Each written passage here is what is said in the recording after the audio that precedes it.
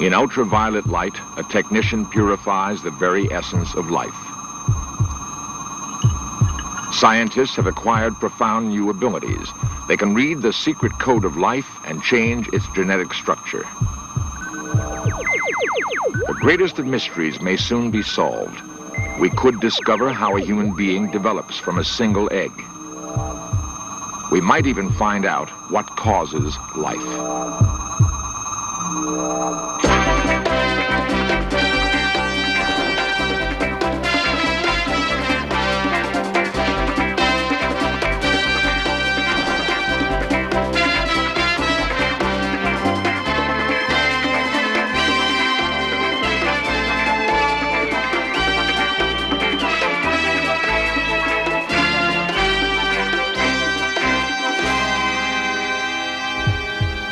Laboratory in San Francisco, seven scientists have joined forces on a fantastic quest.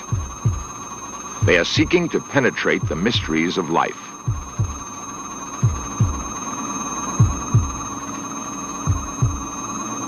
They can take the stuff of life out of cells, dissect it in a test tube, and begin unlocking its deepest secrets.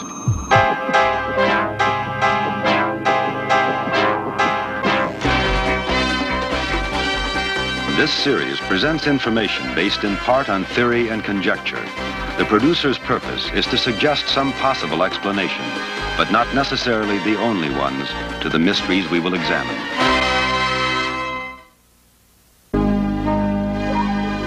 Beyond the outer planets of our solar system, space curves off into the vast abyss of the universe.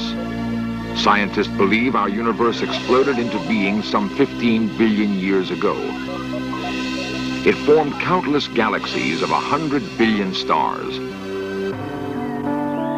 On our planet, life developed over three billion years. It evolved from simple virus-like particles to plants, animals, and the incredibly complex organism that is man. Since the dawn of history, people have wondered, what is the essence of life?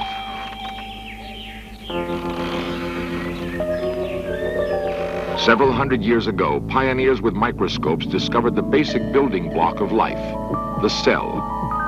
Cells are the primary unit of life. 100 trillion cells comprise a human being.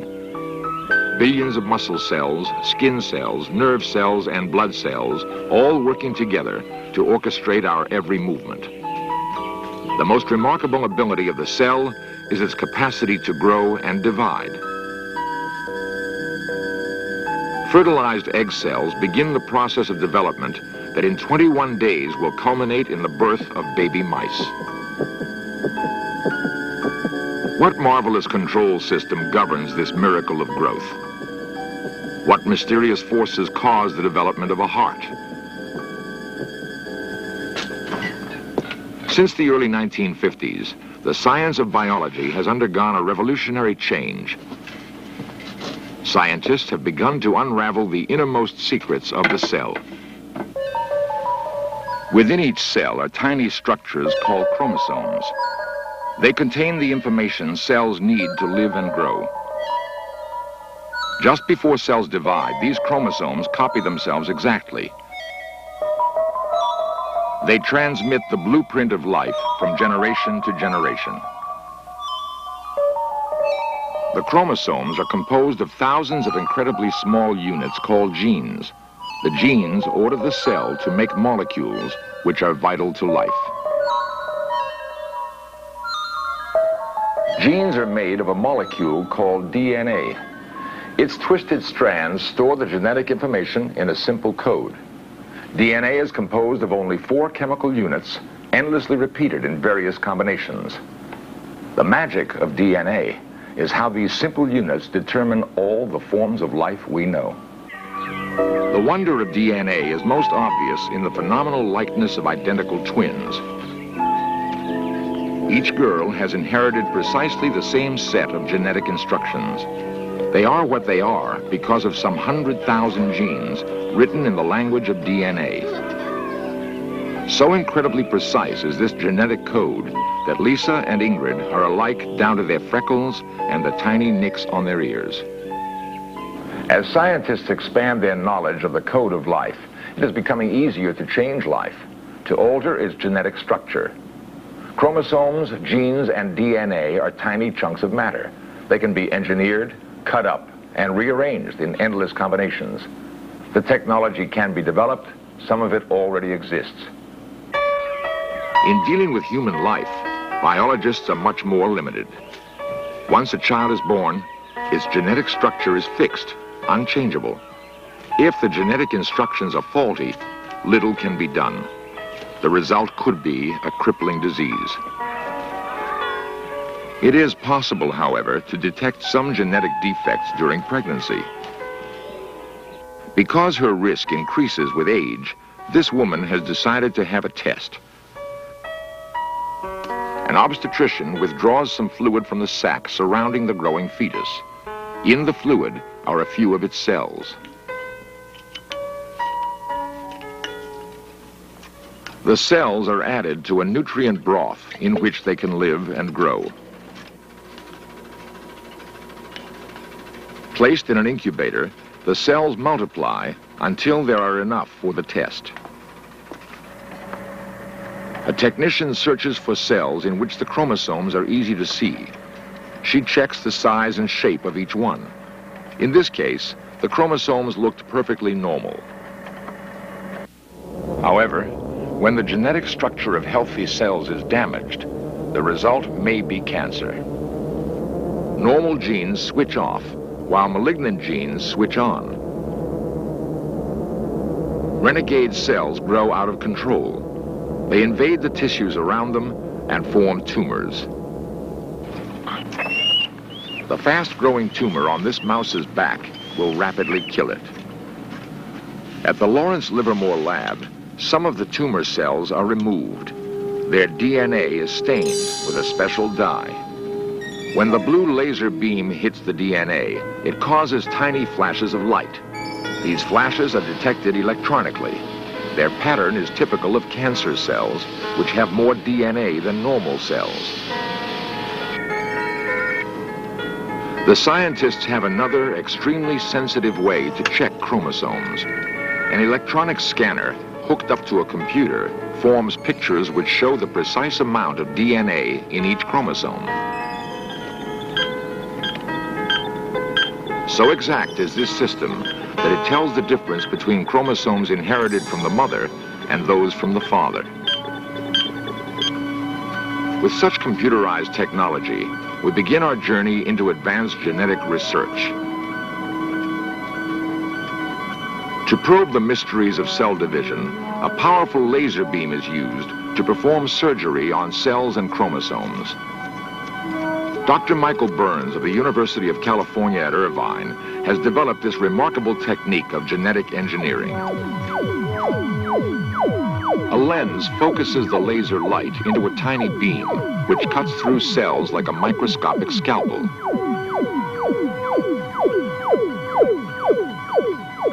The beam is so precise that it can be aimed at individual chromosomes and even used to snip off pieces containing a few genes. Dr. Berns finds two chromosomes and hits them with the laser.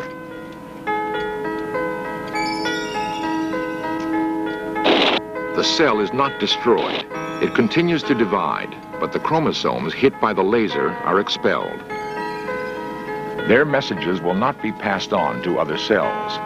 What comes next is another amazing feat of microsurgery, the manipulation of cells a thousandth of an inch across. Carefully, all the cells around the one hit by the laser are scraped away. A nutrient fluid is added so that the single cell remaining can reproduce itself. Over the next few weeks, that single cell will divide into a colony of identical cells. Mysteriously, the destroyed chromosome is replaced by the remaining ones thus restoring normal chromosome number to the cells. Other biologists have developed more precise techniques of genetic engineering. They can chop DNA molecules into pieces without destroying the molecule's ability to play the game of life. If they could link up these pieces in the right combination, they might solve the mysteries of the gene. If they could insert bits of DNA into living cells, they could create forms of life with new genetic structures. Their testing ground has been a tiny bacterium called E. coli. It lives in the human intestine, where its functions are largely unknown. The molecular biologists have found a way to splice genes from animals and plants into E. coli's well-known genetic structure.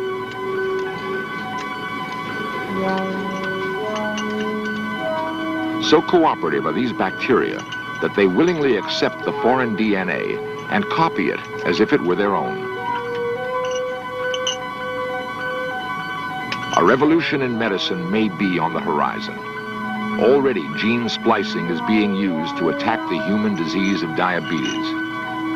Scientists' long-time dream of genetic engineering is at hand. They are getting closer to the secrets of life.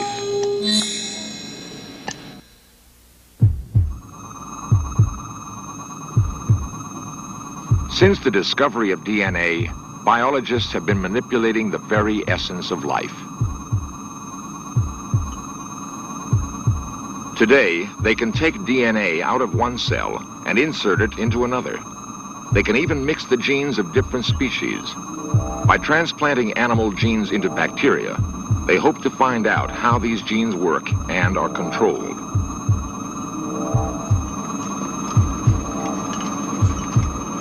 The process begins when a strain of bacteria is given an ample supply of food and gently shaken.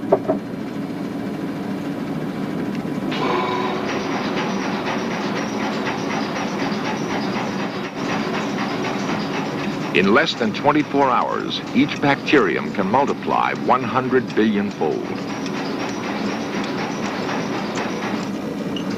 After the bacteria are harvested, a detergent bursts open their cell walls and sticky DNA strands spill out.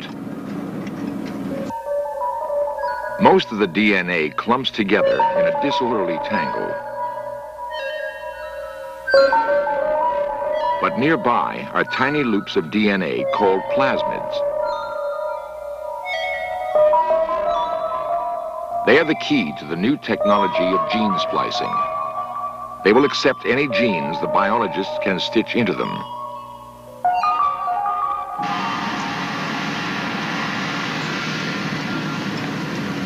A fast-spinning centrifuge separates the plasmids from the rest of the DNA. Under ultraviolet light, a fluorescent dye makes the plasmid band visible. Carefully, the precious plasmids are removed. Now come the most crucial steps. In this simulation, a special enzyme is added to the plasmids. Like a pair of microscopic scissors, it snips open their DNA molecules at specific points. Other snipped genes can now be added to the open plasmid loops. The foreign DNA joins the plasmids, creating a new DNA molecule. The resulting loops, called recombinant DNA, combine animal genes with bacterial genes. They will be reinserted into other bacteria, giving those bacteria new genes. When the bacteria multiply, their new blueprint is copied over and over. Thus, science can make life forms with new combinations of genes. Dr. William Rutter is chairman of the biochemistry department at the University of California, San Francisco. The possibilities for recombinant DNA technology are simply enormous. Not only are we going to revolutionize the understanding of the human genome and for genetics in, in general, but we will have profound effects on many aspects of biomedical science. Over 40 million people are affected by the genetic disease called diabetes. In the United States alone, more than a million people inject insulin each day in order to stay alive. This insulin comes from the pancreas gland of animals. It is in short supply worldwide and often produces undesirable side effects. My colleagues and I have been studying the expression of the insulin gene in the embryonic rat pancreas for several years. And one day I attended a faculty meeting in which Herbert Boyer and Howard Goodman were discussing their work on recombinant DNA. This excited me a great deal, and I cornered these two individuals after the meeting and said, Herb and Howard, we must, we just must clone the insulin gene. What the scientists proposed to do would have seemed impossible 10 years ago. Of the thousands of genes in each cell of the laboratory rat, they wanted to isolate the single gene that makes insulin in the rat's pancreas gland. Then they would transplant this gene into bacteria, hoping to create a microbe with the insulin-producing ability of a mammal.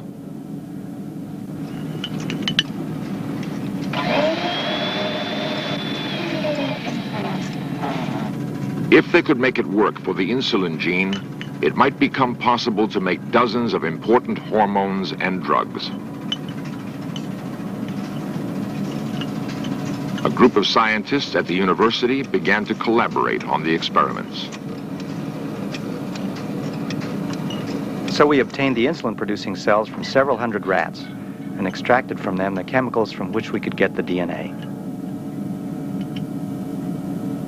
Axel Ullrich took this material, inserted it into a plasmid, and placed the plasmid into a strain of bacteria that could only grow in the laboratory. These steps of the experiment were carried out under strict conditions of containment. Howard Goodman is professor of biochemistry at the University of California, San Francisco. Various methods. We had been working on the cloning of rat insulin for about a year. We had many technical difficulties and we began to overcome them. But it wasn't until the moment I saw this film, which was the analysis of the gene that we had cloned, that we really knew we had the rat insulin gene in the bacterium. The next step is to show that the genes which we have transplanted to the bacterium can actually work and produce insulin. We'll then try to insert human genes into bacteria instead of the rat genes. If we can get these genes to work, this would provide a virtually inexhaustible supply of human insulin, much better than animal insulin since it would have no undesirable side effects. Eventually, in a generation or so, we might be able to do something which is really fantastic it might be possible to rejuvenate defective cells in the diabetics so that they would produce insulin in a normal fashion. Thus, the disease would be cured. In the future, bacteria modified with recombinant DNA may be grown in industrial amounts.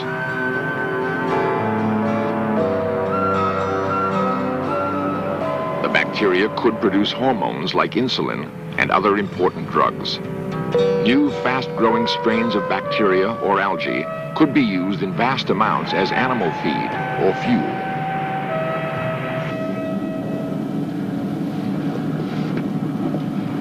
A whole new technology will be needed to pick the desired bacteria.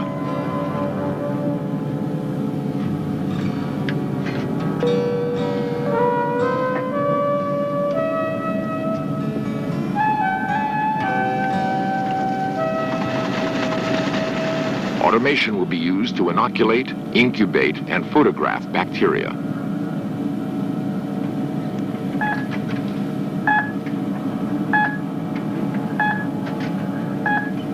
The system produces thousands of photographs under computer control.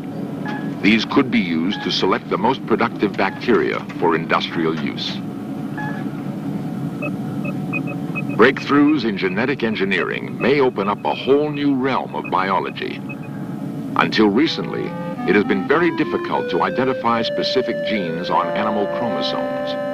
But with new techniques of gene splicing, scientists have begun to map the uncharted terrain of the chromosome.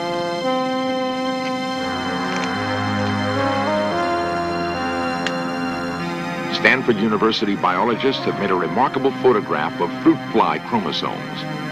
While trying to locate a certain gene on one chromosome, They found to their surprise that the gene's DNA code was repeated dozens of times. To explain this important finding, the scientists came up with a new idea. Just as each letter of the alphabet is found in many different words, each gene copy may play a different role in the life process of the fly. Biologists are now busy testing this idea. It could be the key to the miracle of growth, helping explain how a human being develops from a fertilized egg.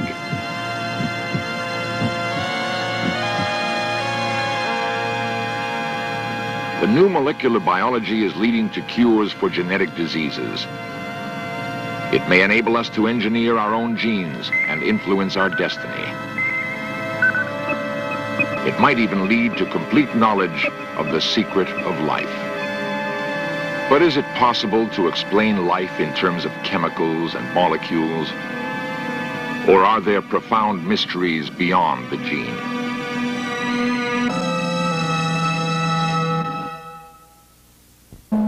While raising hopes of great advances in medicine and biology, recombinant DNA research has also created a major controversy. Tinkering with the stuff of life is not without its risks.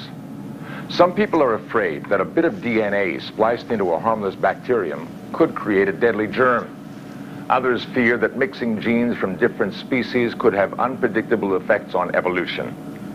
Government agencies have enacted strict controls for recombinant DNA research. Most scientists say that if these guidelines are followed, genetic engineering is not dangerous. With today's technology, we can only add a few foreign genes to bacteria. But a hundred years from now, we may be able to mold genetic structure as freely as a sculptor shapes clay. The question is, Will we be ready for the power to change life?